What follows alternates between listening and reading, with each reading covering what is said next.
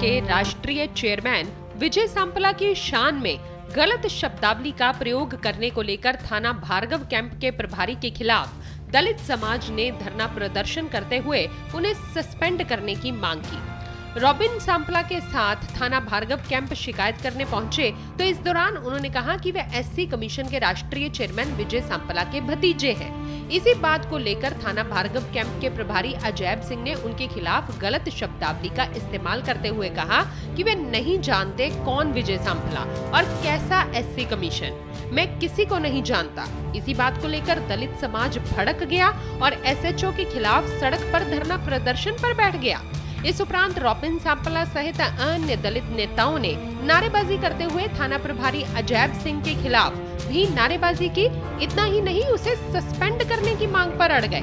उधर सूचना मिलते ही DCP Naresh Dogra ADCP Ashwini Kumar ACP Satendra Chadha सहित बाकी पुलिस अधिकारी मौके पर पहुँचे और प्रदर्शनकारियों की बात सुनने के बाद उन्हें आश्वासन दिया तो वे शांत हो गए, जिसके कुछ देर बाद ही डीसीपी नरेश डोगरा ने थाना प्रभारी अजैब सिंह को लाइन हाजिर करने की पुष्टि की ਸੋ ਕਿਸੇ ਦੀ ਵਿਟਨੈਸ ਲਿੱਤੀ ਹੋਈ ਸੀ ਵਿਟਨੈਸ ਦੇ ਵਿੱਚ ਮੈਂ ਇਹਨਾਂ ਦੇ ਕੋਈ 14 15000 ਰੁਪਇਆ ਕੋਈ ਦੁਕਾਨ ਦਾ ਦੇਣ ਦੇਣ ਨਾਲ ਵਿਟਨੈਸ ਲਿੱਤੀ ਸੀ ਇਹਨਾਂ ਦਾ ਮੈਨੂੰ ਕਾਲ ਆਇਆ ਜੋ ਬੜੇ ਅਬਿਊਜ਼ ਵਰਡ ਯੂਜ਼ ਕੀਤੇ ਮੈਨੂੰ ਬਹੁਤ ਗਾਲੀ ਗਲੋਚ ਕੀਤਾ ਔਰ ਮੈਨੂੰ ਪੁੱਛਿਆ ਵਾਈਟ ਯੂ ਮੀਨ ਤੁਸੀਂ ਮੈਨੂੰ ਕਿਉਂ ਗਾਲ ਕੱਢ ਰਹੇ ਹੋ ਜਦੋਂ ਮੈਂ ਦੁਕਾਨ ਤੇ ਆਇਆ ਤੇ ਪੰਜ ਛੇ ਮਿੰਟਾਂ ਨੇ ਮੈਨੂੰ ਖਿੱਚ ਕੇ ਅੰਦਰ ਲੈ ਜਾ ਕੇ ਕਿਡਨੈਪ ਕਰ ਲਿਆ ਇਹਨਾਂ ਨੇ ਮੇਰਾ ਫੋਨ ਵੀ ਖੋਲਿਆ ਉਸ ਤੋਂ ਬਾਅਦ ਮੈਂ ਆਪਣੇ ਫਰੈਂਡਸ ਨੂੰ ਕਾਲ ਕੀਤੀ ਰੋਬਿਨ ਜੀ ਨੂੰ ਔਰ ਜੰਮੂ ਭਾਜੀ ਨੂੰ ਦੀਪਾਂ ਹਿਮਾਂਸ਼ੂ ਜੀ ਨੂੰ ਸਾਰਿਆਂ ਨੂੰ ਕਾਲ ਕੀਤੀ ਇੱਥੇ ਪਹੁੰਚੇ ਐਸਐਚਓ ਵੀ ਮੌਕੇ ਤੇ ਪਹੁੰਚ ਗਿਆ ਉਸ ਤੋਂ ਬਾਅਦ ਬੜੀ ਤੂਤੂ ਮੈਂ ਹੋਈ ਆ ਪਰ ਇਹਨਾਂ ਨੇ ਸਾਡੀ ਕੋਈ ਗੱਲ ਨਹੀਂ ਸੁਣੀ। ਪੁਲਿਸ ਨੂੰ ਇਸ ਵੇਲੇ ਪੁਲਿਸ ਵਾਲੇ ਮੈਨੂੰ ਕਹਿੰਦੇ ਕੰਪਲੇਂਟ ਦਿਓ ਜੀ। ਮੈਂ ਕੰਪਲੇਂਟ ਰਿਟਨ ਦੇ ਵਿੱਚ ਲਿਖਣ ਲੱਗਾ ਹਿਮਾਂਸ਼ੂ ਜੀ ਬੈਕ ਸਾਈਡ ਤੇ ਖੜੇ ਨੇ। ਇਹਨਾਂ ਨਾਲ ਕੋਈ ਸਾਂਪਲਾ ਜੀ ਕਹਿੰਦੇ ਸਾਂਪਲਾ ਜੀ ਸਾਂਪਲਾ ਜੀ ਕੌਣ ਆ? ਹਨਾ? ਇਹ ਕਹਿੰਦੇ ਸਾਂਪਲਾ ਜੀ ਇਹ ਤੁਹਾਨੂੰ ਨਹੀਂ ਪਤਾ ਸਾਂਪਲਾ ਜੀ ਕੌਣ ਆ? ਸਾਂਪਲਾ ਜੀ ਇਹ ਐਸਸੀ ਕਮਿਸ਼ਨ ਦੇ ਚੇਅਰਮੈਨ ਆ। ਹਨਾ? ਉਹ ਇਸ ਸੰਬੰਧ ਦੇ ਵਿੱਚ ਅਹ, ਜਿਹੜੇ ਐਸਐਚਓ ਸਾਹਿਬ ਥੋੜਾ ਇਹਨਾਂ ਨਾਲ ਤੂਤੂ ਮੈਂ ਹੋਈ ਆ। ਇਹਨਾਂ ਨੂੰ ਬਾਹਰ ਕੱਢਤਾ ਅਸੀਂ ਵੀ ਬਾਹਰ ਆ ਗਏ ਜਿੱਥੇ ਮੇਰੇ ਫਰੈਂਡਸ ਖੜੇ ਆ। ਇਹਦਾ ਮੈਨੂੰ ਫੋਨ ਆਇਆ ਕਿ ਭਾਜੀ ਮੈਨੂੰ ਇੱਥੇ ਦੁਕਾਨ ਤੇ ਮੈਨੂੰ ਉਹਨਾਂ ਨੇ ਅੰਦਰ ਵਾੜ ਕੇ ਕੁੱਟਿਆ ਮਾਰਿਆ। ਮੇਰਾ ਮੋਬਾਈਲ ਖੋਲਿਆ ਔਰ ਮੈਨੂੰ ਗਾਲਾਂ ਕੱਢੀਆਂ ਔਰ ਜਦ ਸ਼ਬਦ ਮੈਨੂੰ ਕਹੇ।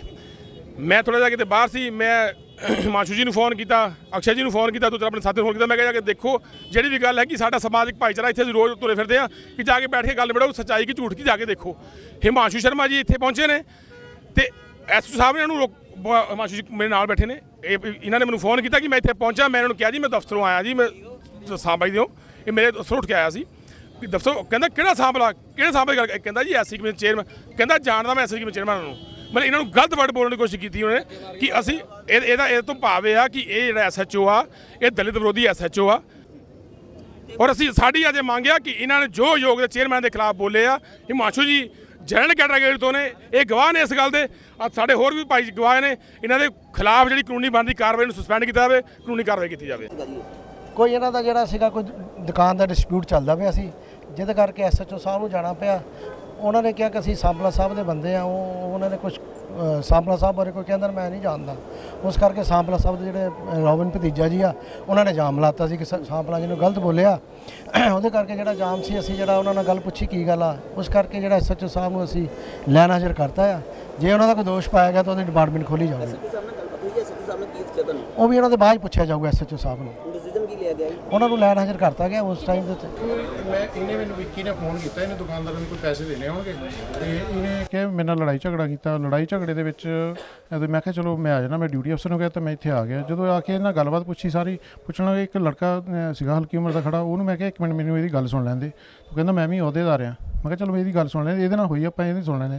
ਜਦੋਂ ਉਹਨਾਂ ਗੱਲ ਕਰਕੇ ਅੰਦਰ ਆਏ ਅੰਦਰ ਆ ਕੇ ਫੇਰ ਅੱਗੇ ਖੜ ਗਏ। ਮੈਂ ਕਿਹਾ ਯਾਰ ਇਹਨਾਂ ਦੀ ਗੱਲ ਸੁਣ ਲੈਂਦੇ ਵੀ ਮੇਰੇ ਲਈ ਦੋਨੋਂ ਪਾਰਟੀ ਇੱਕੋ ਜਿਹੀਆਂ।